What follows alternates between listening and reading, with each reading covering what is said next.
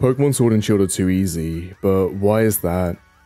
Was it the forced experience share, the abundance of the newly added experience candies, or the levels just too low?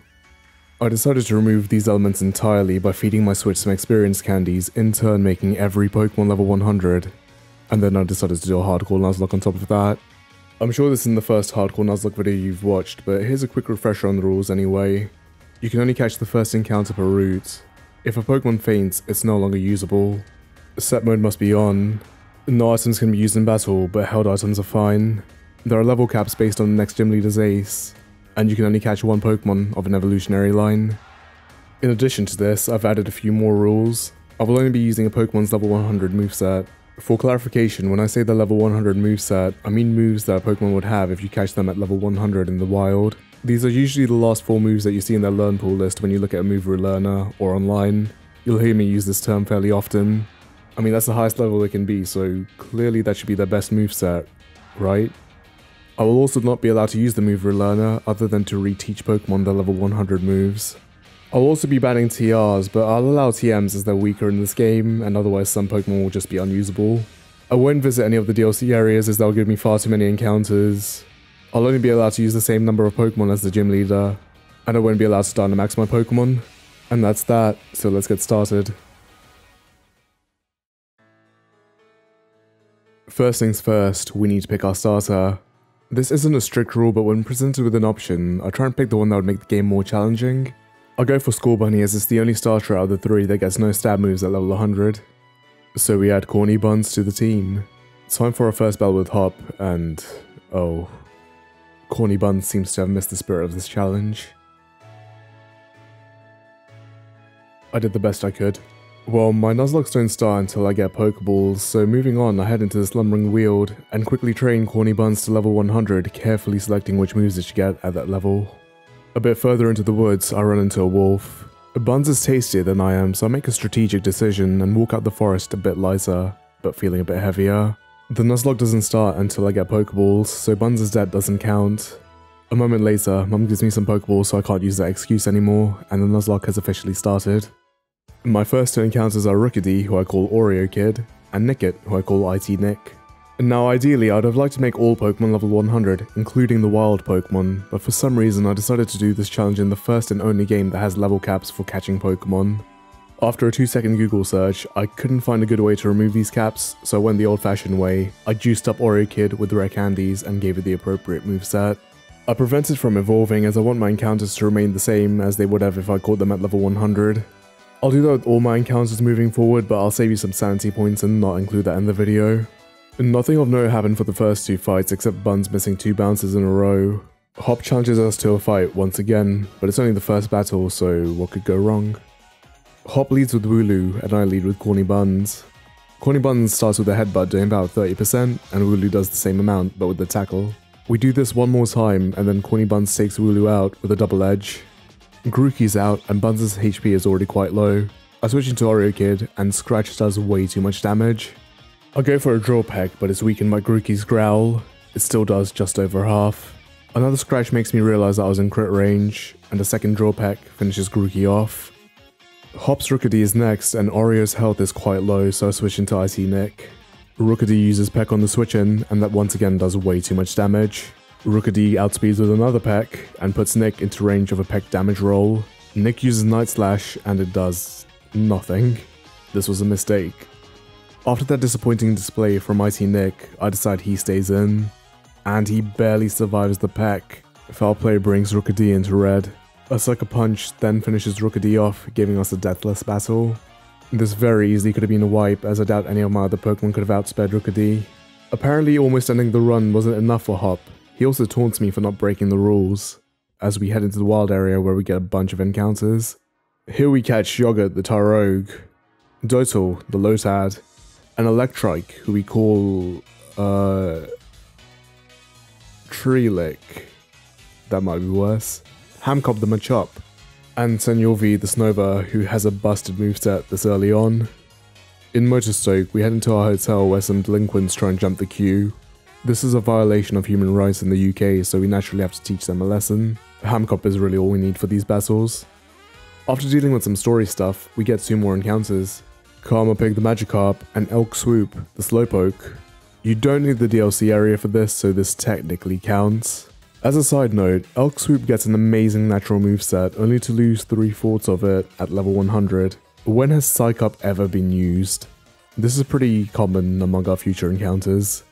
Before leaving Motostoke, Hop challenges us to another battle. Hop sends out Wooloo, and I send out Elk Swoop. This time, a tackle from Wooloo does barely anything, and a Psychic from Elk Swoop crits, doing just over half. Two more Psychics finish Wooloo off. Look how little potions do. The AI basically wastes a turn. Grookey's next and it starts off with a branch poke. Elk shrugs it off and gets off another critical psychic doing over half. Elk swoop proving he's not just a tank. A couple of psychics take Grookey down, but Elk swoop's health is starting to look pretty low. Up next is Hop's terrifying Rookidee, but this time we have Tree Lick, and Rookidee is down with one discharge. Things had been going pretty smooth since our first Hop battle, but then I ran into someone who I honestly thought nothing of. Someone who I'm not prepared for. Schoolboy Peter. It starts off as any other Pokemon battle. Peter sends out Sizzlipede, and I send out Elk Swoop as that's who was in my party. Not an amazing matchup, but it's only a Sizzlipede, so how much can it actually do? It starts off with a bite and does a bit of damage, nothing too special, but Elk flinches. I decided to stay in. Sizzlipede hits with another bite, but this time it crits. Psychic comes out but barely scratches Sizzlipede. I already have to switch out, so I go into Oreo, but Sizzlipede's bite does more than half. I once again have to switch out. Buns is next, and bite does about 40%. Buns is in crit range, but I don't want to switch out again, so I'll go for a bounce. Of course, Corny Buns misses, and he takes another bite, but he dodges the crit. I switch into Tree Lick, and bite does about how much we expect. Tree goes for a discharge and manages to paralyze Sizzlipede. Bite luckily misses a crit, and Tree finishes off Sizzlipede with another discharge, but it isn't over yet. Peter sends out Dottler, and we have to switch. Unfortunately, out of the two Pokemon that are still at full health, one is weak to Bug, whereas the other is weak to Psychic. I decide to go into Senor V as it's bulkier and Confusion does some damage. Senor goes for a Blizzard, and it manages to freeze Dottler, another Blizzard taking it down. That could have gone far worse. One Sizzlipede was more threatening than the entirety of Hop's team. At least we managed to get through that with no losses. While on Route 3, we catch Uglier Foss, the Gossifleur, and in the mine, we catch Anglo Roger, the Roggenrola. A bit further into the mine, we come across Bede. He only has three first stage psychic Pokemon, so surely he'll give me an easier time. Bede leads with Solosis, and I send out Oreo. I start this battle off with a mistake. I assumed Payback worked the same way as Revenge, where it has negative priority. But it doesn't. So Drill Peck would have done more. Solosis goes for Endeavour. And this time I use Drill Peck, and it does significantly more damage, but misses the kill. And this is where my mistake comes to bite me. Solosis' confusion hits a crit and brings Oreo down, marking our first death, my only flying type right before the grass gym. Ironically, Brave Bird would have just done the job, but up until that point I'd been really cautious about using recoil moves, which clearly doesn't matter when you lose the Pokemon anyway. I send out Tree Lick and bring Solosis down with a discharge. Gothita is next, so I go for another discharge that barely does anything. But then Gothita hits back with a Psybeam that does massive damage. It wasn't even a crit. I send out Elk Swoop as it's the only Pokemon that can tank the Psybeams. As expected, Psybeam doesn't do much. And likewise, Psychic from Elk Swoop doesn't do much to Gothita, but even less. And for the first time, I learned that Bede's Gothita has competitive as Psychic drops its special defense. Now the Pokemon that could two-shot most of my team has doubled its primary attacking stat. Slowpoke has definitely lost the one-on-one, to say the least. Or that's what I thought at first, until I remembered that we have a way out. And Gothita goes for a tickle, completely wasting a turn as not only does it do no damage, but the stat drops are overwritten when Elk uses Psych Up to copy Gothita's stats. Unfortunately, this wasn't necessary as Bede ends up throwing by only using tickles, while we take out Gothita with a couple of psychics. Hatenna comes out and goes for a round that does way too much damage, even considering the stat drops. I swap into Corny Buns, but he takes way more damage than he deals out, so I quickly switch to Senor. Confusion confuses Senor on the switch, but I don't see a death, so I go for Blizzard, and it takes Hatenna down. This would have been far easier if I just added Nick back on the team, but I'll be honest, I've completely underestimated these battles.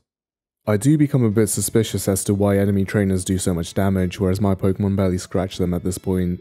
So I dig into the files and find out that feeding my Switch XP candies not only raised all Pokemon to level 100, but also set all trainers on max AI and gave all their Pokemon max IVs.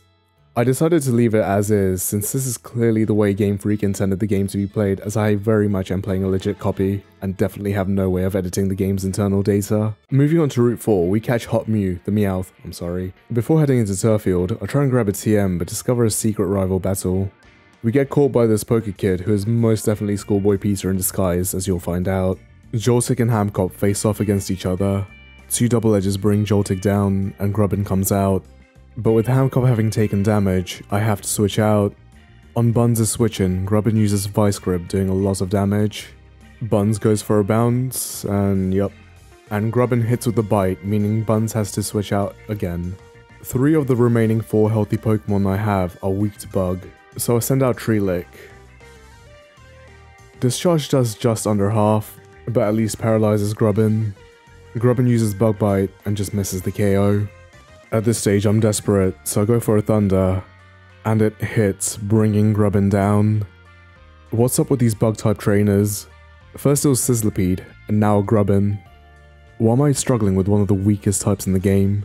Anyway, we're ready for the first gym. While Oreo Kid would have been useful during this gym, Senor V was always going to be the star anyway, so its death wasn't too bad. I bring Corny Buns as my second Pokemon. Time for Milo. Milo leads with Gossifleur, and I send out Senor V. I just click Blizzard, and Gossifleur goes down. Eldegoss is out and ready to Dynamax. Now as a reminder, I'm not allowed to Dynamax, which means we have to stall. And guess which move I've got to teach my two Pokemon? Protect. So Eldegoss Dynamaxes and uses Max Strike, doing just under half to Senor, but that's very much a roll. I use Blizzard, and it does about 40%, Unfortunately, hail damage does not bring it into KO range. That doesn't matter anyway as I stay in to preserve team HP and the next max strike takes Senor V down. I send out Buns and go for a bounce, wasting a turn of Dynamax. And Eldegoss returns to normal. The next turn, Buns actually manages to hit a bounce, but just misses the kill. Fortunately, Round does not crit, and I take Eldegoss down with a headbutt the next turn winning us the gym badge. This was supposed to be a deathless gym, and Senor V would have helped with the next one immensely. I hadn't really been paying attention up till this point, but it's clear that the difficulty is starting to ramp up. Our inability to Dynamax means that we have to stall for 3 turns while still taking hits. Trainers are starting to get better movesets, and some are even starting to use fully evolved Pokemon which we don't really have the luxury to use, since our Pokemon are already level 100. Well, technically we do, but let's put a pin in that for now. Onwards to Hulbury, we catch a Minccino on Route 5 and call it Carbon Copy Minion. We once again had to fight some Team Yell grunts. The first one gave me no issues as Hamcopper and most of the work, but the second one had a Sableye that was actually doing quite a bit of damage, and my team wasn't really prepared for it. I got a Lucky Thunder that not only hit, but also crit, so I really dodged a bullet there. Further up, we have another battle with Hop. Hop once again starts with Wooloo, and we send out Anglo Roger. Wooloo starts off with a double kick, but the first one doesn't do too much. I then remember that Angler has weak armor, which will be useful later, but right now it's dangerous. I go for Sandstorm for some reason. I think it was to get chip damage, but I have to switch out, so I think it hurts me instead. I switch to Elk Swoop, and Wooloo once again goes for a double kick. A couple of Psychics take it down. Corvisquire comes out, so I switch into Tree Lick. Pluck does quite a bit of damage to Tree because of the defense drop from Leer, and Discharge does a bit over half. It also paralyzes, allowing Tree to outspeed and finish Corvisquire off with another discharge. Finally, it's Thwackey. I switch into Buns and take a Razor Leaf, which does about Corsair. The next Razor Leaf crits, putting Buns into KO range, and Buns goes for a bounce. Bounce actually hits to do a lot of damage, but I have to switch, so I go into Ugliafoss, and Thwackey's Razor Leaf puts me directly into crit range. Unfortunately, all my Pokemon are in crit range, so I decide to stay in and go for Hyper Voice. It just misses the kill, and at this point I have to switch out. I go into Elk and he dodges the crit. At this stage I realize that none of my Pokemon outspeed. My only winning condition is sacking a Pokemon so I can switch into Hamcop and pray Blackie doesn't crit. And that isn't even guaranteed. But then I remember that Ugliafoss has a Regenerator. This gives me a slim chance to get a Deathless Hop, but I'm risking the chance of losing my best Pokemon against Nessa. My plan being, switch Foss in and out until we get a Razor Leaf Miss, and pray that the high crit chance move never crits. It's a pretty dumb strategy, and I should be trying to get a safer Nessa win. Oh, the first one missed. As I was saying, I'm a strategic genius. Hop's team isn't too difficult, but considering we haven't got any evolved Pokemon, our team's quite frail, making crits even deadlier as they're harder to play around. That paired with a high crit chance move makes Thwackey into a bigger threat than it ever was. In Hulbury, we can get another encounter through fishing, and we managed to land a 10% Basculin, which believe it or not, is probably our strongest Pokemon at the moment. It's a single stage Pokemon which is on average better than the first stage ones. It gets adaptability which makes its stab moves extremely powerful, and on top of that, has a really good level 100 moveset. Unfortunately, despite all this, Snailcup can't really do much to help us out aside from taking some water moves, but I don't really want to risk its life this early on, so he stays in the box for now. For this gym, I bring Ugliafoss, Treelick, and Hot Mew. It's not an amazing team, but we have no better options for water types. We skip straight to the gym battle as nothing of note really happens, and totally not because I can't do puzzles designed for children. Nessa sends out Goldeen and I lead with Tree. Goldeen outspeeds and Water Pulse does a lot. Tree with Magnet manages to take down Goldeen with one discharge. Arrokuda's next, so I switch into Ugliafoss to take an Aqua Jet. Arrokuda's first bite flinches Foss, but the second one doesn't, allowing Foss to knock out Arrokuda with Leaf Storm. I really hate that I have to rely on this move. The Ace Drednaw's up, so switch into Hot Mew predicting a rock move. Drednaw Dynamaxes, but instead goes for a Max Darkness, which does a lot of damage. Mew protects to stall another turn of Dynamax, and Drednaw once again goes for a Max Darkness. I'm going to be honest, Mew's only here to act as a decoy. It honestly has a pretty bad moveset and I don't really see it being useful. I let it use Protect to give it a fighting chance, and it actually pulls it off. Drednaw returns to normal, so I give me a well-deserved break and switch into Foss, expecting a water move. I was correct and Drednaw goes for a water gun. Water gun. I was just talking about how enemy teams are getting better and the gym leader's ace has water gun as its stab move. Even Goldeen got water pulse. Anyway, I lied about Mew getting a well-deserved break because I needed to activate Foss's regenerator, so goodbye Mew. Don't look at me like that. Foss is back, so I go for a Leaf Storm. Drednaw outspeeds and it uses Headbutt, which flinches Foss. I guess I deserve that. I'm forced to sack Treelick to once again activate Regenerator. Drednaw once again uses Headbutt, not getting a crit, and Foss pushes past it to hit a Leaf Storm, taking Drednaw down in one hit, getting us our second badge. Only the second gym in, and we've already nearly lost the run. Considering we can only bring a limited amount of Pokemon with us, I think we did as well as we could have, with the sacks being necessary as we only have a limited amount of HP to spare. There is one thing I could have done to make this fight easier, but I decided that it would be more helpful further down the line, and we really aren't that far into the game yet, so a reset wouldn't have been too bad. Enough justifying my incompetence, moving on. On the way back to Motostoke, we head through the second mine, aptly named Mine Number 2, here I skillfully dodge the first few Pokemon, running right into Bede. And this time I actually bring IT Nick, and I go for a foul play that does a lot of damage. Turns out Solosis has some muscle. Solosis goes for an Endeavor, the next foul play takes it down. Ponies is out next after Switch. I switch into Buns anticipating the fairy move. Ponyta uses Confusion, doing just under half, and Buns uses Headbutt, doing nothing. I decide to risk the crit using another Headbutt, which still doesn't even get Ponyta into half. Foss's turn, and even Leaf Storm doesn't kill. At least it brings Ponyta down into red, which allows Slowpoke to kill with Psychic. Gothita comes out, so I switch into Foss, but take a lot of damage from Psybeam, so I switch into IT Nick the next turn. Gothita somehow outspeeds and goes for a Rock Tomb, but misses. Foul Play does just over half. I'll go for a Sucker Punch, but it still doesn't kill. Nick is terrible, but he actually survives the Rock Tomb. Another Sucker Punch takes Gothita down. Finally, it's Hatenna, so I switch into Snailcup and go for an adaptability boosted stab Aqua Tail, which annihilates her. Maybe I should have just started with Snailcup. Yup, my team sucks.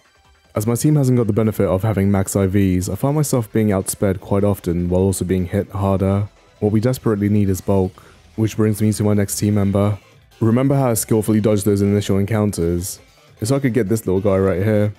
Stunfisk is our second single stage Pokemon and is possibly the bulkiest team member we have. What I'm trying to say is, Stunfisk may actually be useful, filling a role on my team that no one else can do better, being a damage sponge. Unfortunately, its moveset is pretty mediocre. I want it to be good so bad, but that can be adjusted, so welcome to the team, Stu Finks. Outside of the mine, we get another encounter which ends up being a Koffing. Think Fog can stay in the box for now. We head back to our hotel and get ambushed by Marnie.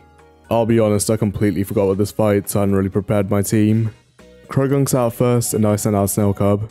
A water Pokemon isn't really a good idea against a Pokemon Dry Skin, so I switched to Elk. Venoshock does quite a bit of damage, but Elk is still outside of crit range, so I stay in. Of course, Croagunk goes for a Sucker Punch, which doesn't kill, but definitely would have if it was a crit. Psychic finishes it off. Marnie sends out Scraggy, and it goes down to a couple of Aqua Tails from Snailcub. Lastly, it's Morpeko. Man, if I only caught a Pokemon that walls this thing. Well, it's not my party, so clearly I didn't. I switch into Anglo, who I risk for absolutely no reason, but he gets up for Stone Edge, doing a lot of damage. I switch out to Foss, who takes a surprising amount from Bite, but takes Morpeko out with a Leaf Storm. This battle isn't hard, I'm just bad at the game. Now unfortunately, our encounters haven't really set us up well for Kabu. The only Pokemon that can hit fire types hard is Basculin. Roggenrola has a pretty good moveset, but now that I'm fighting a team of fully evolved Pokemon, I'm not too convinced it will hold up as well. Fortunately, we have a few more encounters in the wild area with our catch cap now increased. As I head to North Lake Miloch, I can see that it's raining, which is perfect as this means that the most common encounter will be Palpitoad, who A, will be perfect for Kabu thanks to its typing, bulk, and moveset, and B, I love the Tympole line, and sometimes it feels like I'm the only one. So naturally we run into Gloom. It's called Dudish. Now it's not the worst encounter in the world, we have a Leaf Stone so we can get our first fully evolved Pokemon, but it won't really count for much if we can't get past Kabu. I also catch a Drifloon and call it Floor Dino. So that venture didn't really help us, but there's still hope yet.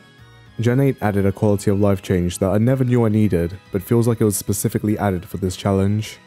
Rare candies now act as evolutionary stones for Pokemon that evolve by level up, and are at level 100. I wasn't initially going to go down this route, as it felt it would make the challenge a bit too easy, but I decided it wasn't really conflicting with any rules, and since there are only a limited amount of rare candies in the overworld, that would act as a good balance. I won't be allowed to get any rare candies from renewable ways such as Poké Jobs or raids. So with that out of the way, we actually have access to one rare candy back in Wedgehurst, and my two candidates are Angler Roger, the Roggenrola, and Dotal, the Lotad. I looked up Ludicolo's level 100 moveset, and it's terrible, so that was an easy decision. I don't know why, but in Gen 8, almost every Pokemon that evolves using an item has a really bad level 100 moveset, and this usually wouldn't matter as they have access to all their moves at the Mover Learner, but it really sucks for this challenge. So I use a rare candy to evolve Angler Roger into a Boldore, and then trade it with my friend to get a Gigalith, marking our very first fully evolved Pokemon. Its moveset stays pretty much unchanged. So now we're ready for the next gym. This time I bring Angler Roger, Snailcub, and Dotel. We also get another encounter here. I'll go for the Vulpix as we can use the Firestone on it later down the line. I call it Love Picks. Kabu leads with Ninetales and I send out Angler Roger. Ninetales burns Angler using Will-O-Wisp, halving its attack, but Angler hits every single one of its Rock Blasts, and the Sandstorm takes Ninetales out. Arcanine's next, so I switch into Snailcub. Snailcub takes a bite that does surprisingly little. Arcanine uses Will-O-Wisp and Snailcub hits with an Aqua Tail, doing just about half. I don't see Snailcub fainting to a critical bite, so I stay in and go for an Aqua Tail, which thanks to the Sandstorm damage is guaranteed a kill. Centiskorch is on the field, and I think you can guess why Dotal's here. He did a good job. I send Anglo back in, resetting the Sandstorm. I go for a Protect to stall another turn of Dynamax. The next turn, Max Flutterby does a massive amount of damage, but Anglo not only survives, not only hits the Stone Edge, but also crits, bringing the Gigantamax Centiskorch down in one hit, earning us the third badge. Angler Roger is a beast. With that, we can head back into the wild area and get a whole bunch of encounters. Before getting our new encounters, I first grab a Leaf Stone from Turffield and a Firestone from the wild area to evolve Dudish into a Vileplume and Lovepix into a Ninetales. As you can imagine, they have terrible movesets. While in the wild area, I catch Brozorn, the Bronzor, Larcent, the Sneasel, Orderfie, the Ferroseed, Barkby, the Krabby, and a Skorupi, who I call Urkshoop. I also skip a couple of encounters as I figured I could wait for better weather. Now we head to Route 6 where I already knew who I wanted. This magnificent creature, an absolute powerhouse, possibly my favourite Pokemon from Gen 8, is also guaranteed. All I have to do is get past this route without getting any encounters. We add Helipo to the team. Next up in Stow-on-Side, we have another battle with Hop. Hop sends out Cramorant and I send out Angler Roger. Cramorant dives into the water, but I decide to stay in and go for a Stone Edge. Dive does a bit, but not enough to kill with the crit, and I'm suddenly reminded of Cramorant's ability when Stone Edge hits. It still seems to be out crit range, but I should have been more careful. Next up, Hop sends out Silicobra, and I switch into Do Dish. Dig doesn't do too much against Dish, and Absorb restores most of the damage it does anyway. So after a few absorbs and a paralysis, Silicobra goes down. Thwackey's out to terrorize me again, but this time I have counters. I know Thwackey can't really do much to Dish, so I stay in and Thwackey goes for a Screech. Dish uses Venoshock but misses the KO. Afraid of the lower defense, I switch into Love Picks and Razor Leaf does nothing. And Ember takes it down the next turn. Toxel is last but goes down to a single bulldoze from Stewfinks. This top battle was far easier. It goes to show how much of a difference having evolved Pokemon makes, even with bad movesets. That and Hop's team was pretty bad this time around. I don't really have many options for Ghost Pokemon, but we do have a rare candy that we found on Route 6. I use it on Urk Soup to evolve it into a Drapion, and surprisingly, it has a really good moveset. For the next gym, I bring Angler Roger, Larsense, IT Nick, and Urk Soup. On the way to Allister, this Corsola gets two Ancient Power Omni boosts in a row, Allister leads with Yamask, and I lead with Urk Soup. A single crunch takes it down. Next up is Mimikyu, and it gets a critical slash. I go for a cross poison to break the disguise, and it also manages to poison. I switch into Angler Roger to preserve HP, and Mimikyu goes for Baby Doll Eyes. Shadow Sneak comes out, not doing too much, and Angler Roger gets off a Stone Edge that also manages to crit, taking Mimikyu down. Angler does not miss. Corsola's out and immediately goes for a curse, cutting its HP in half. Anglo hits another Stone Edge, taking it down, but now Curse takes 25% of Anglo's health. Finally, Gengar's out and I instinctively go for a Protect. I suddenly remember that G-Max Terror traps the opponent, but it goes for Max Darkness instead, allowing Anglo to see another day. I switch into Larsense and Gengar goes for another Max Darkness, doing barely anything. I know it's not very effective, but it's a Gengar versus Sneasel. That was pathetic. Larsense goes for Protect, and Gengar uses Max Ooze, getting a special attack boost, finally ending the Dynamax. This was admittedly me being a bit overly cautious, but I was worried about the special boost, so I switched into IT Nick to get a clean switch into Urk Soup. Is anyone gonna miss him? Turns out I was right to be cautious as a not very effective Hex does a lot of damage to Urk Soup. Luckily not enough to kill with a crit though, and Urk Soup goes for a crunch which takes Gengar down in one hit, getting us our fourth badge. I decided to check why Gengar's Max Darkness did so little to Sneasel, and it turns out it was because it was coming off of a payback. A physical 50 power move, why Allister went for that instead of the stab special ghost move when they both are not very effective is beyond me. I'm honestly not sure if I've been underestimating or overestimating the trainers.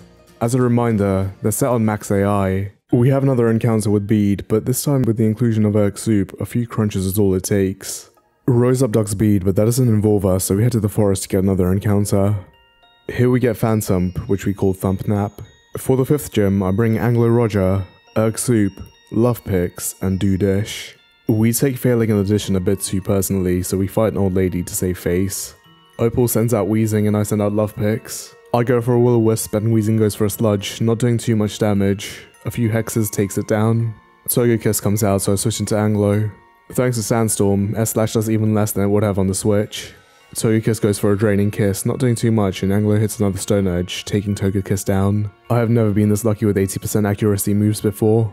Mawile's next and I stay in knowing it can't really do too much damage to Anglo. If only there was a mechanic that actually made it useful. Mawile can't do much but it does lower Anglo's attack with Intimidate, and then goes for an iron defense. Of course, Anglo doesn't care and Bulldoze crits. This one challenge has made me appreciate Gigalith so much more. It just missed the kill so Mawile manages to get a crunch, but the next Bulldoze takes it down. We're already on the ace Alcremie, so I switch into Dudish and Alcremie goes for a max finale. I go for a protect and it once again goes for a max finale. I was a bit worried about Mystical Fire, but it's used max finale twice now, so I stay in and go for Venoshock. My hunch was correct and Alcremie returns to normal, and a couple more Venoshocks is all it takes. Turns out Draining Kiss really was its only attacking move. In fact, look at how bad this team is. The Ace only has one attacking move that's only 50 power.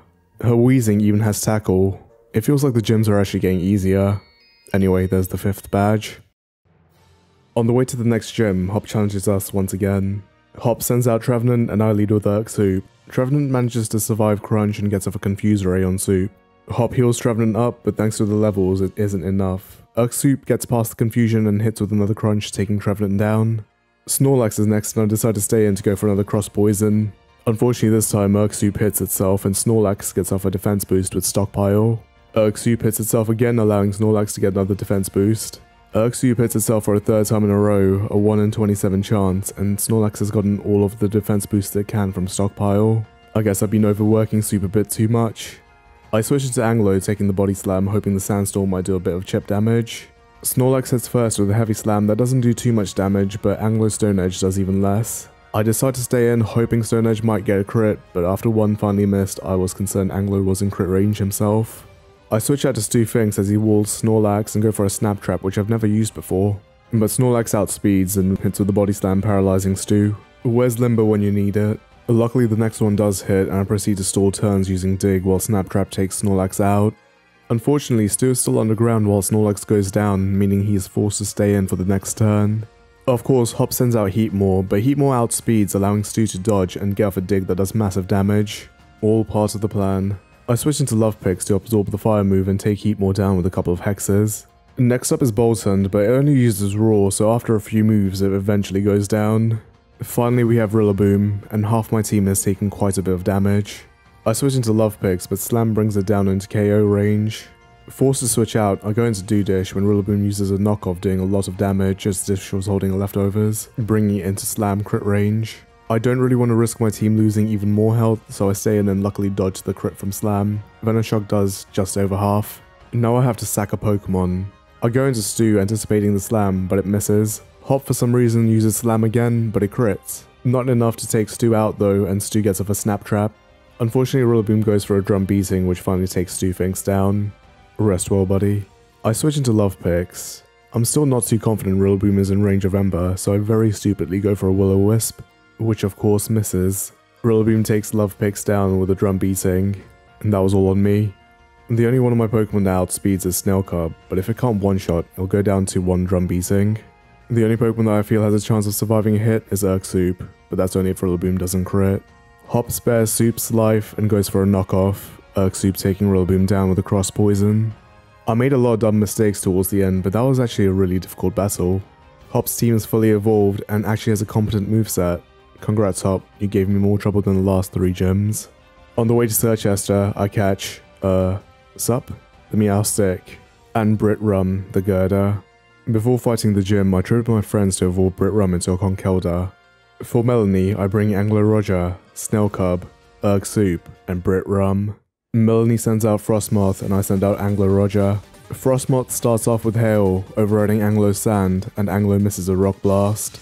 Frosmoth uses Feather Dance to lower Anglo's attack, but Anglo hits Rock Blast enough times to bring Frosmoth down. Darmanitan is out and it's scary. Luckily it goes for Taunt on the switch into Soup. The next turn, Darmanitan uses an Icicle Crash that does just over half, and Urshifu uses Brick Break doing just under half, which is actually beneficial to us as otherwise Darm would switch into Zen mode which is faster and stronger. I switch out into Snailcup and he manages to tank the Icicle Crash and does a lot of damage to Darmanitan with a Head Smash bringing it down, unfortunately also doing a lot of damage to itself. Eiscue's out and has an ability to tank any physical move. Unfortunately, my entire team is physical so I decide to stay in with Snailcup to break the Ice Face. Goodbye, Snailcup. I send out Brit Rum, and Eiscue goes for Hail, reactivating its ability. Brit Rum breaks it with a Brick Break. Eiscue goes for Amnesia, but that doesn't matter to a physical attacker, and Brit Rum gets killed with Brick Break. Finally, it's Lapras, and this thing is terrifying.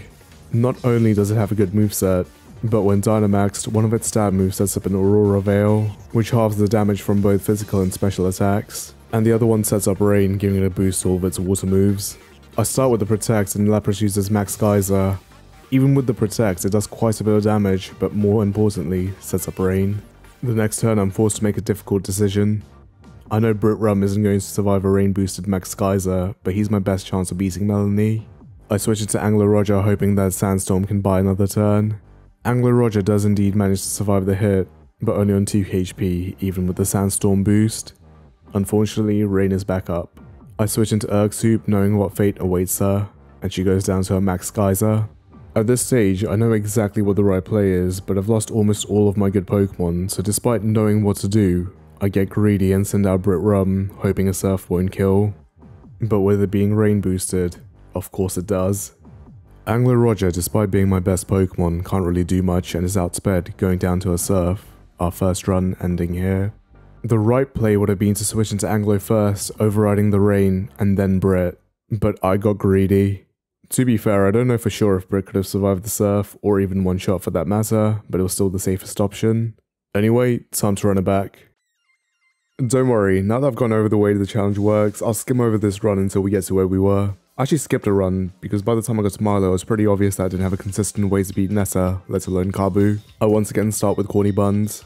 And this time when faced with the wolf, I try and see what would happen if Buns uses bounce. It says it had no effect, which is weird as nothing's supposed to happen yet, and now it's asking me to use a move. Maybe Buns will materialize in front of me if I use a headbutt, and oh, we've lost him to the void. Well, the Nuzlocke hasn't started yet. On routes 1 and 2 we catch Woke TV's the Skwovet and Ampere the Yamper. Hop was really easy this time around as Woke TV's has counter and an ability that restores a third of its HP when it eats a berry, and Rookidee can't do much to stop Ampere. In the wild area, we catch a Venonat and call it a live tin. Big Burn the Grubbin, No Wig the Wingull, who has hydration that will later become Drizzle when it evolves into a Pelipper. And we welcome back Dudish, now an Oddish, Ham Cop, who actually has no guard this time, and Elk Swoop. The battle with Hop and Motostoke is uneventful as we have a counter for each of his team members. On Route 3 we catch Gersey Howl the Growlithe, who unfortunately didn't have Intimidate, but who we can evolve immediately using a Firestone. I decided to keep her as is for now as Growlithe has a better level 100 moveset than Arcanine. We also once again get Angler Roger in mine number 1. Bede's also far easier this time around thanks to Woke TV's being surprisingly bulky for a first stage rodent Pokemon. Having access to the aforementioned ability and also getting payback which thanks to its speed is always boosted. On Route 4 we catch Markrai the Milcery who's also possible to evolve immediately. This time for Milo I bring Gersey Howl and Big Burn. And Big Burn outspeeds and sets up a sticky web, Gossifleur goes for a round, after which it goes down to a couple of X scissors. Is out. I stall for a couple of turns with Big Burn, but unfortunately he goes down on the second turn. Gersey Howl stalls using Protect, but Max Strike crits. Thankfully Grassy Terrain also heals Gersey up so she can go for a Flare Blitz, but just misses the KO. Gersey was also not in range of a round crit even with the recoil. Gersey outspeeds so Reversal can safely take down Eldegoss getting us the first badge. The hot battle starts off easy enough with Wooloo and Corpseclaw not being able to do much, but Thwackey is still a threat. Gersey immediately takes a crit on the switcher and being put into crit range, so I switch into Dudish. Dish uses a couple of Moonblasts to get chip damage, but has to switch. I switch into Ampere, but Razor Leaf does a lot, and she's already in crit range. I decide to stay in, and she dodges a crit, but Crunch doesn't do much. Unfortunately, it's pretty obvious that I need to sack someone to get a safe switch in, and despite the next gym being a water gym, I decided it's time for Ampere. Prey goes down, giving Nullwig a safe switch in. Thwackey goes for Screech, but Nullwig manages to land an air slash, taking Thwackey out. Wasn't that bad of a battle, but we did lose our only electric type right before a water gym. Fortunately, we have a TM from the last gym that can be taught to one of our Pokemon once they evolve. So we head back to Motostoke to challenge the cafe owner so we can get a sweet. Oh. We patiently wait a day to get another chance to battle him to get a strawberry sweet. With that, we can evolve Milecry and Alcremie and teach her Magical Leaf. So now we're ready for Nessa. This time I bring Dudish, Elk Swoop, and Markrai. Goldeen outspeeds and uses Horn Attack. Magical Leaf from Markrai just misses the KO. Luckily Horn Attack doesn't do a lot, so Markrai can just recover to maintain more HP. A second Magical Leaf takes Goldeen down. Arrokuda starts off with a Knuckle Jet, doing about the same as Goldeen's Horn Attack, but goes down to one Magical Leaf. Drednaw's out, so I start with a Protect. Max Strike does nothing against Markrai. Markrai isn't in range of fainting to a regular max strike, but is in range for a crit. I decide to risk the crit and stay in. My fear is unfounded however as Drednaw goes for a max geyser which I know is coming off of a water gun. Thanks to Drednaw's low special attack and Markrai's decent special defense, I'm not too worried. Markrai recovers all the damage it took that turn. I decide that I don't want to risk flinches from Drednaw's headbutts as Markrai is still useful, so I switch into Elk Swoop with the single intention of giving Dish a safe switch in. Goodbye Elk. I send out Dudish, and Drednaw uses Razor Shell? It had Razor Shell. Turns out I got unbelievably lucky, and Markrai could have very easily died. Even Rain Boosted, Razor Shell couldn't have killed with a crit, so Dish gets off a safe Petal Dance, taking Drednaw out in one hit. And that's Nessa. The AI in this game confuses me. We get a few more encounters. Dull UK's the Duskull, and Sky Tun the Stunky from the wild area. And also Oradork the Arrokuda from fishing in Hulbury. The second Bede fight is pretty uneventful as four of my team members have super effective moves against Psychic, and most importantly, Cry can basically wall his entire team with Recover. On the way to Motostoke, we welcome back Stu Finks and catch Cargo-kun, the Croagunk. Now it's time for Kabu, and we have a couple of options. As we have a rare candy from Wedgehurst, we can evolve one of our Pokemon. As much as I've come to love Gigalith, I decided that Nullwig with Drizzle will give me much more consistent battles. I mean, just look at Pelipper's level 100 moveset. We fight Marnie, and look how busted he is. Both Croagunk and Scraggy go down to a 100% accurate Hurricane, and Morpeko can't really do anything to Stu Finks. Before fighting Kabu, I also evolved Gersey Howl into an Arcanine for the extra bulk. Unfortunately, look at that moveset. For this fight, I bring Aura Dork, Gersey Howl, and Nullwig. This time I decided to go for Litwick as I love the little guy and we've already used the Firestone. And there's a Dust Stone we can get in Stow-on-Side, and yup, I forgot that the trainers also have level 100 Pokemon. Both Ninetales and Arcanine get obliterated by a single rain boosted Hydro Pump. I switch it to Gertie to stall a couple of turns of Dynamax, and on the last turn I use Bulldoze since I can't protect. Only for Kabu to use his Centiskorch's signature fire move on a Pokemon that has Flash Fire. The rain dies down, so it's the perfect time to switch into Null. This was me being a little bit too cautious, but I go for a roost as Centiskorch chooses Smokescreen.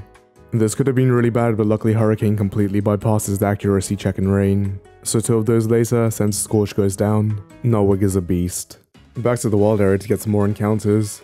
Here we welcome back Urksup the Skorupi, who even has battle armor this time. We catch Rep the Quagsire, Castor the Maractus, Legtot the Golett, Elmo Party the Palpitoad, and Nutway the Wobbuffet. I also skip a couple of encounters because of the weather that I totally remember to get later. While in Hammerlocke, I find out that there's another rare candy that I could have gotten.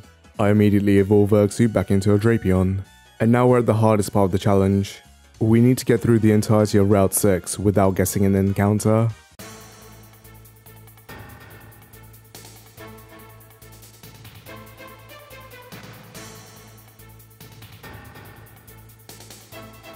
Unfortunately, during my haste, I forgot that Sudowoodo had Sturdy and lost Castasum, who I was actually looking forward to use.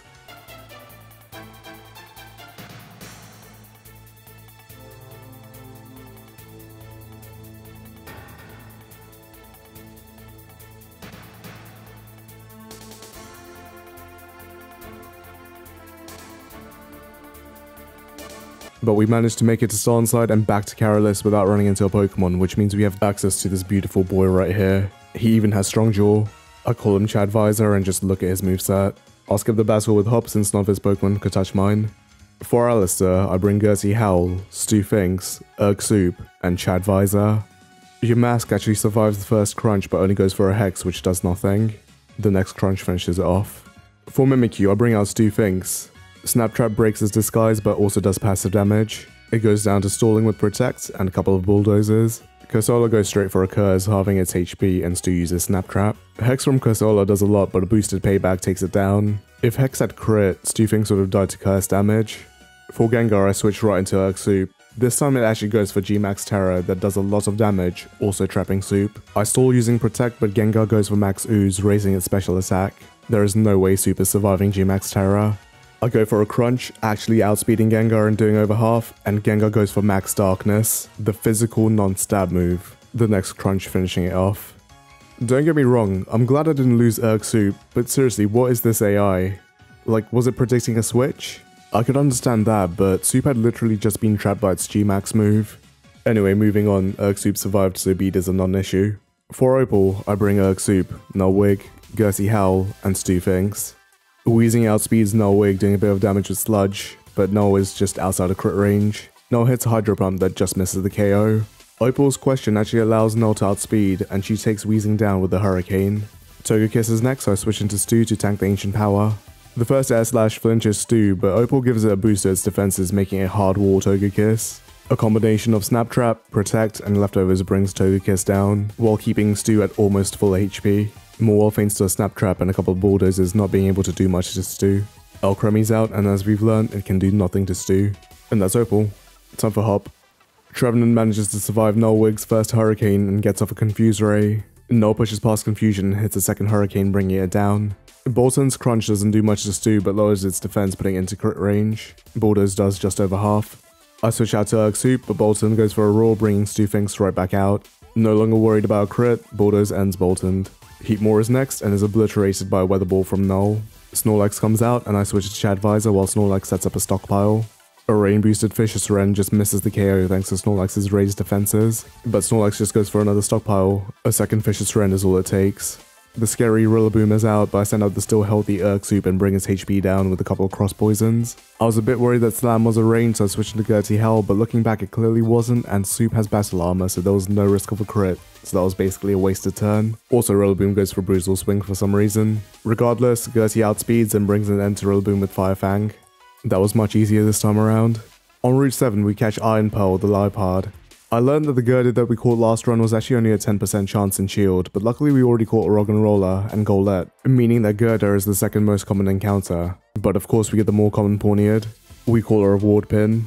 Definitely not a bad encounter, but Conkeldurr would have been so much better for Melony as Lapras is the main threat. I decided to evolve a Ward Pin into a Bisharp anyway as it has a really good move pool. And we're back to where we were. For Melony, I'll bring a Ward Pin, Marl-Cry, Chad Visor, and Gurty Howl. A single Fire Fang from Gertie destroys the 4 times weak Frosmoth. Darmanitan spares us a turn by using Taunt, but Fire Fang just misses the KO, activating its Zen mode. A Headbutt from Darm does a lot of damage, but a second Fire Fang brings it down. I don't know why I risked that 5% miss chance. Eiscue's next so I send out a Ward Pin. It uses Icy Wind on the switch, lowering a Ward Pin speed, but triggering her Defiant, giving her a plus 2 attack boost. A Ward Pin still manages to outspeed, but Eiscue's Ice Face eats up the Iron Head. Of course, Eiscue goes for Hail, once again setting up Ice Face. Iron Head breaks Ice Face and Eiscue uses Icy Wind yet again boosting a Pin's attack. This time Eiscue outspeeds but goes for an Amnesia, and a plus 4 super effective Iron Head causes Eiscue to cease to exist. Finally it's Lapras. Now I would have loved to stay in and bring it down using a plus 4 super effective Brick Break, but I'm not confident that a Pin could have survived a Max Geyser. So I stall for one turn using Protect and yeah, that was no way. I switch into Chad to eat up the second Max Geyser and then stall with Protect, ending Lapras' Dynamax. Unfortunately, it's set up in Aurora Veil. I switch into Marl-Cry hoping to stall out the rain and the Veil. Luckily, Lapras only uses Icy Wind on the switch. It'll protect later, the rain subsides. I decide to test the waters and stay in. Lapras goes for an Ice Beam, which does a lot, but not enough to KO, even with the crit. What I'm worried about is that freeze chance. Cry recovers, restoring the HP it just lost. Lapras goes for a nice beam, not getting the freeze, but putting Marl-Cry into crit range. For some reason I go for a magical leaf while the veil is still up instead of protect. I decide to risk the crit and stay in. Lapras doesn't get the crit, and Cry is able to recover out of crit range. I decide to switch into Chad and luckily Lapras goes for a Surf, which does nothing to him. I use Protect to see what move comes out, and it's Icy Wind. And that gives me an idea. I switch into Gurty on the Icy Wind and see that the AI uses Surf when I use Protect. I then switch into Chad to tank the Surf, and then use a crunch to reveal that it's a 2-hit KO. Lapras goes for an Icy Wind. Now can safely switch into Gurty anticipating the Ice Beam. Unfortunately, Ice Beam does a lot. The plan was that I could now switch back into Chad and kill the Crunch, but now I'm not sure if Ice Beam's a range on Arcanine and if the AI would go for that instead of Surf. I mean, we've seen how weird it can be. I decide to learn from my past mistake, and as much as I love Gertrude, the safe switch into Chad guarantees the win. I try to give Gurty a fighting chance and use Fire Fang, and it just misses the KO. But Lapras flinches allowing Gurty to get the kill with Bite. The battle was an absolute roller coaster, and this was definitely the hardest fight that I've had this challenge, and there were definitely ways I could have done this better, but with the Pokemon I brought, I think I did pretty good. After looking at a fantastic poster, Hop forces another battle upon us. He leads Dubwool and I send out Chad, a single Fishious Rend takes it out. Snorlax is next and I stay for another Fishious Rend, but it isn't enough to knock it out, so Snorlax goes for a Body Slam. Luckily it doesn't paralyze and another Fishious Rend knocks Snorlax out. Corviknight comes out and I switch into a Ward Pin expecting a flying move but it goes for a Scary Face, lowering a Ward Pin speed but doubling her attack. Corviknight goes for a Drill Peck, not doing anything, and I go for a Brick Break, but despite the boost, it doesn't do much either. I settle with a Swords Dance and take Corviknight down with a Brick Break the next turn. Rillaboom's on the field, so I switch into Null Wig on the Brick Break. Rillaboom does a lot of damage with knockoff and Null uses Hurricane, but doesn't quite get the KO. It does however confuse him. I switch into Gurty and Rillaboom passes through the confusion and uses a drum beating doing almost half. This time Rillaboom hits itself. Urshifu outspeeds and gets the kill with Cross Poison. Hop gives some encouraging words to his dying Pokemon. Pincurchin comes out but slowly dies to crunches while all it can do is curse, and that was relatively painless. On Route 9 I catch a Pincurchin myself and call her a Runic Pinch. I started Spike Myth. Marnie charges us an entrance fee, but we aren't having that, so we fight her instead. Marnie's Liepard starts off with a fake out, then a sucker punch, surprisingly hitting quite hard. Noel's Weather Ball just barely misses the kill. Marnie goes for a futile heel, and Noel locks Nipod out with another weather ball. A couple of bulldozers take Morpeko out, is what I would have said, but as you can see, I wasn't really paying attention, I got hit with the torment.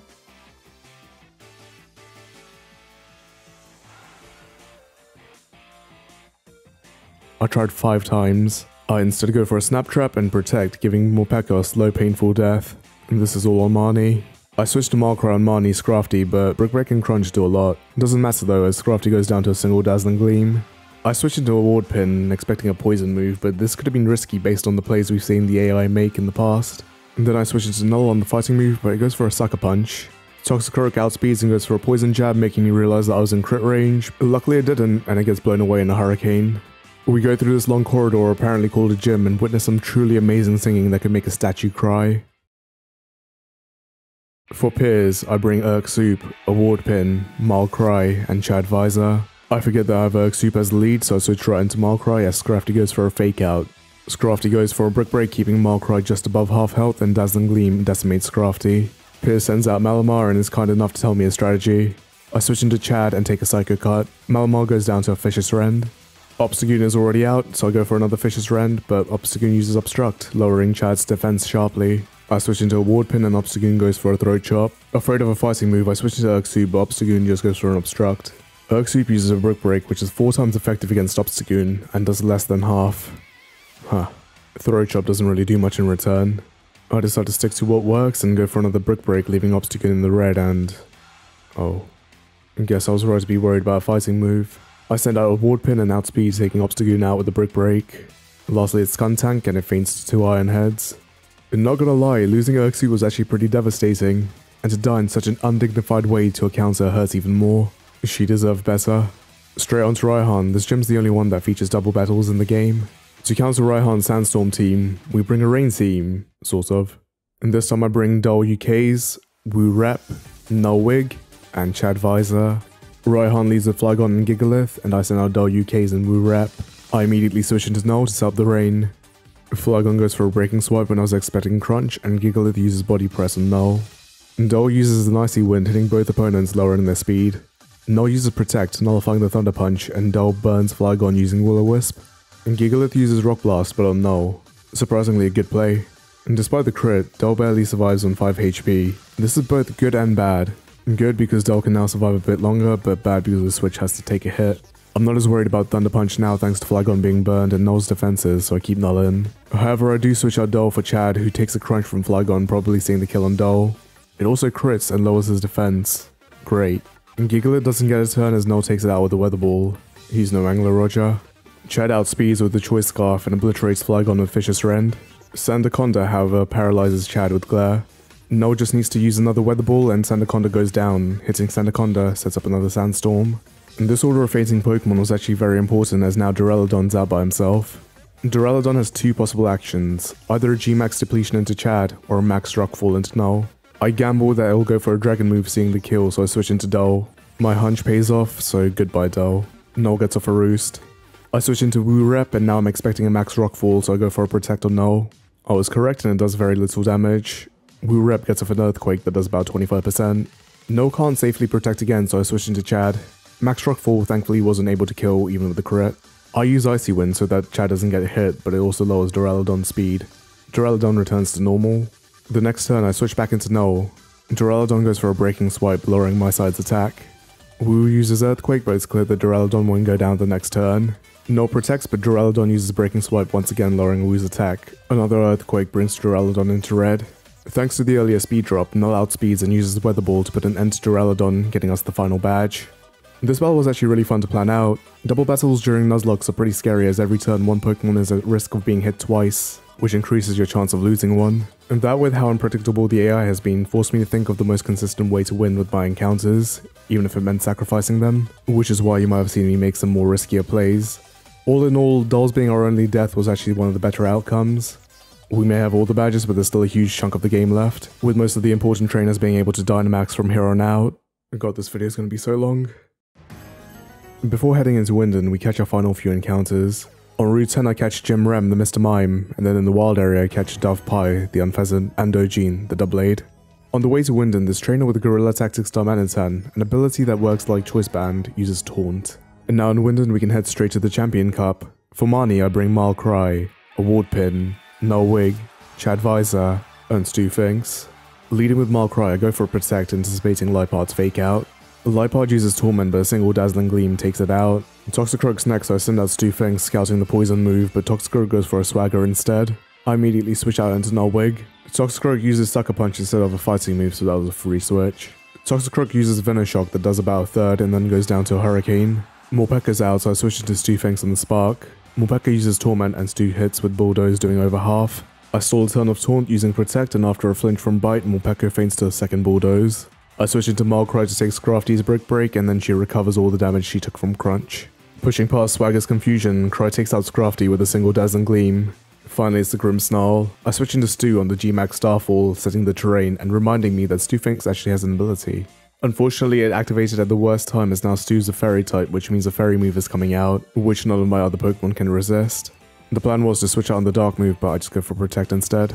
And Marnie actually goes for G-Max Snooze on the now fairy Stunfisk.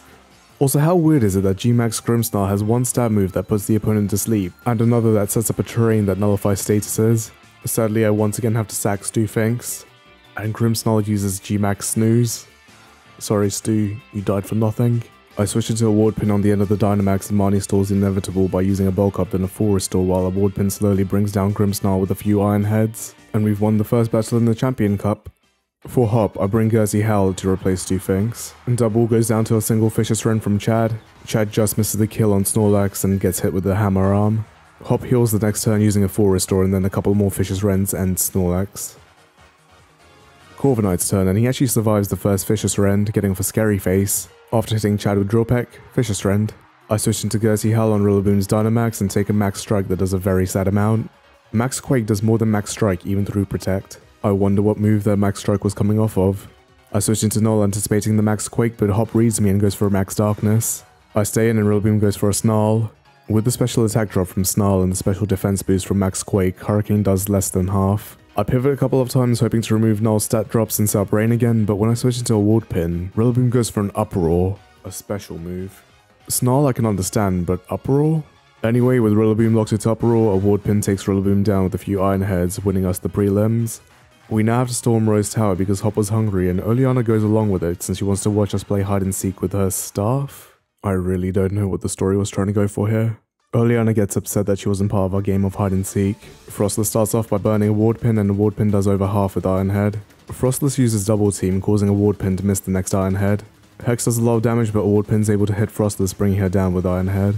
I switch into Null when Salazzle comes out, Venoshock does just over half and Weather Ball obliterates her. Tsareena's next, but I'm worried about Null's low HP, so I switch to Gersey Howl who takes a lot from acrobatics. Tsareena hits hard, so I'm a bit worried to switch, so I stay in and go for a sunny day to remove the rain, but the next acrobatics crits, putting Gersey Howl down. I once again sack a Pokemon for no reason. Marlcry takes just over half from acrobatics and does just under half with Dazzling Gleam. I switch into a Ward Pin taking another acrobatics which was just outside of crit range. And then I switch into Chad who's hit with Tsareena's second critical acrobatics. Luckily, Chad's still holding the Choice Scarf, so he outspeeds and brings an end to Tsareena with Ice Fang. I switch into Wu Rep as Milotic goes for an Aqua Ring, and Surf from her does a lot of damage as Wu Rep uses Toxic. After many turns of stalling for the poison damage while Milotic just recovers her HP, my team has taken a lot of damage. Null's on the field and is in crit range of a rain boosted Surf, but it stays in and dodges the crit, getting off a roost, and finally Poison takes Milotic down. Now it's Garbodor. I stay in with Null going for Protect and Max Rockfall hits, doing little damage. I switch into Wu Rep anticipating the next Max Rockfall and then stall the final turn of Dynamax using Protect. Garbodor returns to normal and goes for a Toxic Spikes. Wu Rep hits her with an Earthquake, just missing the KO. And Garbodor uses Gunk Shot which manages to poison Wu Rep but faints to another Earthquake. And that was unironically very tough. I wasn't aware of how diverse Oleana's team actually is and how hard some of our Pokemon can hit. Every one of my Pokemon were below half health by the end of that battle and we actually had a loss. After watching Rose's time chest slideshow presentation, we can now head back to the Champion Cup. After getting abducted by Rose, Beats promise freedom if he can beat me. I bring Runic Pinch, a Ward Pin, Chad Visor, and Dudish, who I evolved but kept as a Gloom for the better moveset. Mawile's Intimidate triggers a Ward Pin's Defiant, giving her a boost to her attack right off the bat. I decide to go for a Swords Dance, while Mawile hits a Play Rough doing just under half. A plus 3 Iron Head takes Mawile down. Gardevoir's next and goes for a Calm Mind. A Ward Pin once again uses Iron Head. A Rapidash outspeeds and hits a Dazzling Gleam, revealing that all Ward Pin was in the crit range. It doesn't, so Iron Head. Finally, it's G-Max Hatterene and Iron Head. And Back to the mind speed. For Nessa, I bring Runic Pinch, Dudish, Null Wig, Chad Visor, and Jim Rem, who I evolved into a Mr. Rime using a rare candy. Null uses Hurricane to destroy Golisopod before I can make a move. Barraskewda hits with Liquidation and Null goes for another Hurricane, confusing Barraskewda. Barraskewda hits itself and Null heals itself with Roost. Barraskewda gets a heal with full restore and Null uses Weather Ball. Throat Chop does about quarter, and Null manages to hit a hurricane even outside of rain to bring Barraskewda down. Nessa sends out her own Pelipper resetting rain and setting up a tailwind, and Null once again uses Hurricane doing over half. Pelipper uses Air Slash, flinching Null, so I switch into Runic Pinch. Pelipper decides to set up Tailwind again and Runic Pinch electrocutes Pelipper with Zing Zap.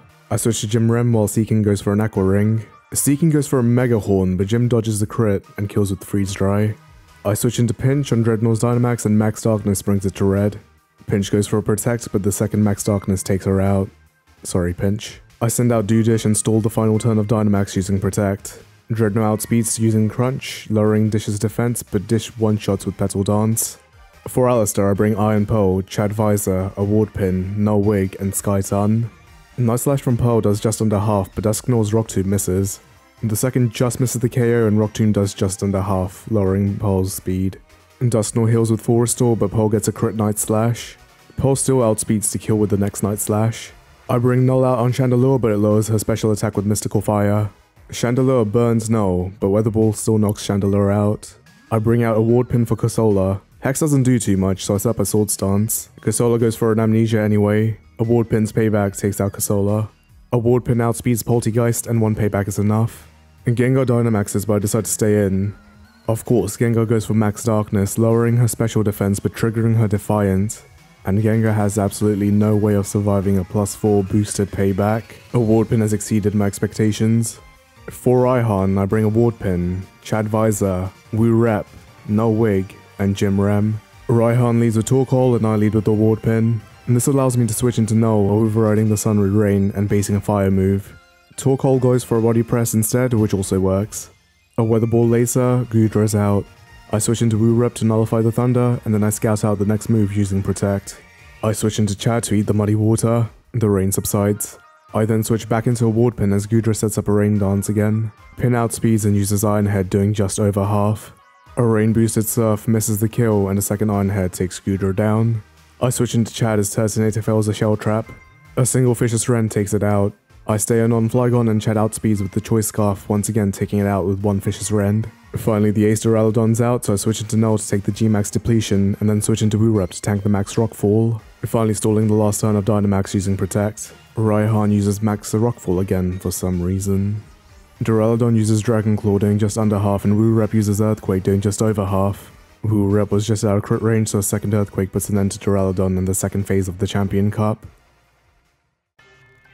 Rose broadcasts his plan to the world instead of just waiting a day to be a bit more covert for some reason so our match is interrupted as we have to deal with some more story stuff. We catch our final encounter in the Slumbering Weald, Vulpig, the Orbeetle, and now we have to fight Rose to stop him from abducting us like Bede, I think. Rose starts off with Escavalier, and I bring back Corny Buns. Buns outspeeds and hits a Fire Fang, bringing Escavalier into red. It also burns. Escavalier hits Drill Run, just missing the kill thanks to the burn, and the second Fire Fang brings it down. I switch into Wu Rep on Klinklang's Wild Charge, and two Earthquakes take it down. I switch into Nullwig and Ferrothorn misses a power whip. Hurricane does about a third and Ferrothorn uses Curse. Another Hurricane brings it to red and Ferrothorn once again goes for Curse. The next Hurricane takes it out. A Weather Ball brings Perrserker into red and then it hits back with a Throat Chop. I forget that rain has ended so I go for another Weather Ball but that was far off from killing Perrserker. Chad takes an Iron Head on the switch and then kills with Fishious Rend. I send out Wu Rep on Copperajah's Max Mindstorm which does well over half. Next up is a Wardpin who isn't affected by Max Mindstorm. Finally, it's back into Null, who isn't affected by the Max Quake. Dynamax over. Chad returns to take Copperajah out with the rain-boosted Fishious Rend. Rose shares his fantasy about being Leon's princess or something, so we slowly back away into the left while he's distracted. Leon throws a Pokeball at the legendary Pokemon in front of him like the true champion he is, and now we're forced to fight it. Imagine how much better that scene would have been if they just changed that texture into a Master Ball. It would make Eternatus seem even more threatening and makes Leon look actually somewhat competent. But anyway, Eternatus goes down to a couple of earthquakes from Wu Rep, while Eternatus transforms into an eldritch abomination capable of destroying the world, Hop stares on ahead with a dumb, stupid, goofy smile, and people say he has no character. He's clearly a psychopath. Pulling out our spores from our grave robbing escapades earlier launches us into an anime sequence as we summon some wolves that mega evolve through the power of friendship or something. Now I learned that I made a small mistake this turn. While feeding my switch some experience candies, some must have gotten lost as while Eternatus is level 100, Zamazenta and Zacian are not. Of course I went for Earthquake and with a boosted attack thanks to Zacian's Howl. Goodbye Zacian. Also Wu Rep barely survived a hit from Eternatus. But hey, at least we still have Zamazenta, he faints the next turn. Now typically in a Sword and Shield Nuzlocke you're supposed to just stall turns while Zacian and Zamazenta do their thing, but for the first time I actually had to put in work. Every turn there's a 50% chance that we get hit by a max move from Eternatus, and Eternamax never ends. I switch into Null to start Brain and Double just barely survives a max Wyrmwind. The next turn I switch into Chad while Double is erased from existence. Snorlax comes out and I switch into Markrai anticipating the Wyrmwind, and Snorlax actually uses a super effective high horsepower. We're gonna be here for a while. Max Flare hits Markrai for little damage thanks to the rain but now the sun's up. Markrai scratches Eternatus with Dazzling Gleam and Snorlax helps. I switch into Null Wig to set the rain back up and hope that Flare comes out, but better yet, Eternatus uses Wyrmwind on Snorlax. Snorlax does his thing. I switch back into Cry for Wyrmwind and the next turn Eternatus hits with the Max Flare nerfed by the rain. The Dazzling Gleam and High Horsepower finally bring Eternatus below half. I switch back into Null resetting the rain and Eternatus uses Wyrmwind on Snorlax. And back into Cry and Snorlax finally gets brought down. Corviknight gets hit with Max Flare and Markrai recovers some HP. I keep switching in and out between Markrai and Nullwig, using a Dazzling Gleam when I can, while Corviknight slowly whittles down Eternatus with Brave Bird. Eventually, a Max Flare, even in the rain, melts Corviknight. Hop sends out Rillaboom and we continue to let Hop do the heavy lifting for a change, but Hop uses Drum Beating, a grass move and a Dragon Poison type. God damn it, Hop. And Rillaboom's now locked into Uproar. Oh, he's free. Whatever will he go for now? Drum Beating. Also, I swear Eternatus has not targeted Rillaboom a single time since it was first sent out. Honestly, a pretty good strategy. I continue to switch in and out while Eternatus only targets my Pokemon and it finally decides to hit Rillaboom, taking it down. Unfortunately, I don't think Pincurchin's can be much more help. Markrai dodges a crit and recovers back half her HP. I go for a Protect assuming I'm about to get hit, but Eternatus aims for Pincurchin instead, bringing it into red. I switch into Chad on the Max Flare and then on the next turn, Chad manages to outspeed holding a Choice Scarf and finishes off Eternatus with a nice Fang living up to his name. And this is probably the only time I've ever struggled with the Eternatus battle and I was genuinely not expecting it to be so hard even with it being level 100. In my defense, I thought Zacian and Zamazenta would also be level 100. Also Hop's team is useless. We do what the champion cannot and catch Eternatus in a Pokeball. We're finally near the end.